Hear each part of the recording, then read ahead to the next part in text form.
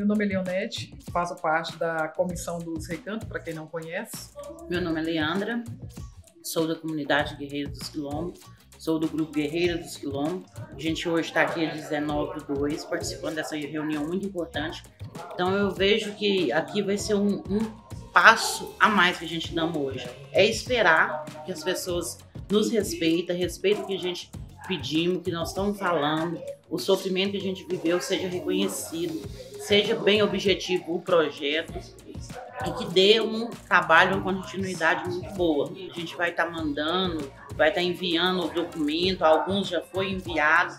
Eu aconselho a todo mundo pegar aquele documento, estudar. Se não tem, como foi falado, aquela linguagem nossa, né, do povo mais simples, auxilio, entendeu? Procurar nossa assessoria para estar tá te orientando a estudar junto com vocês. Aquele documento é muito importante. Mande suas sugestões, é válido. Manda sugestões para a gente estar tá elaborando o plano para poder colocar em ação. Manda muitas opiniões para a gente estar tá aprendendo junto com vocês para fazer um bom trabalho que interessa a nós todos atingir.